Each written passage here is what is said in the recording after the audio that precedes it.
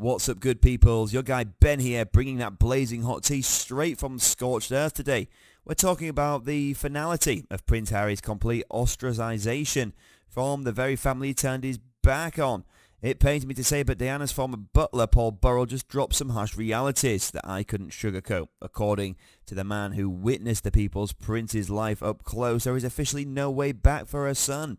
That's right, after years of relentless betrayal, mudslinging, from the Duke of Defection, the drawbridge has been permanently raised. Harry's delusion of being able to swan back into the monarchy's good graces on a whim has finally been disabused for good. Now, I know you guys are excited to hear more about this, but before I move on, I'd like to thank you for your enormous love and support. And if you haven't subscribed to the channel yet, guys, what are you waiting for?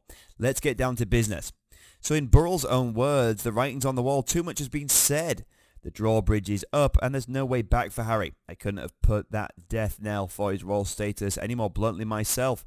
Of course, leave it to that ginger to naively think flying back briefly for King Charles's cancer saga would somehow make everything hunky-dory, as if putting on a hollow uniform display for Willie and Pops could simply erase the deep wounds.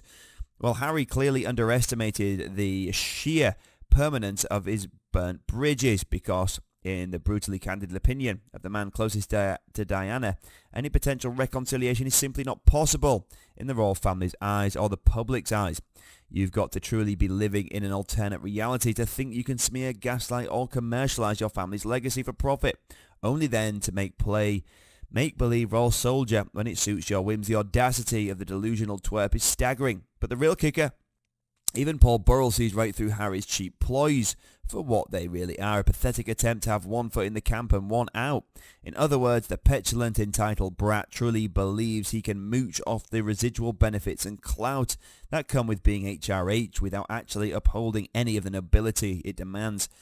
That's precisely why the wise Burrell insists Prince William has drawn a line in the sand against the sad mockery carrying on any longer, no more rewarding his baby brother's tantrums, with even an inch of good faith or confusion over where their fractured loyalties lie. In Willie's eyes, Harry's burnt that family bridge to the ground with his own two traitorous hands years ago.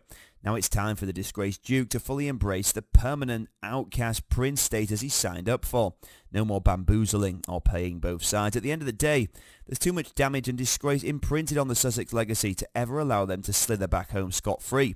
His job as a member of the royal family is over according to Burrell and the longer Harry holds out that delusion, the worse his humiliation will become. So what will happen next? Only time will tell, but don't worry, I'll be back soon with more scalding hot tea.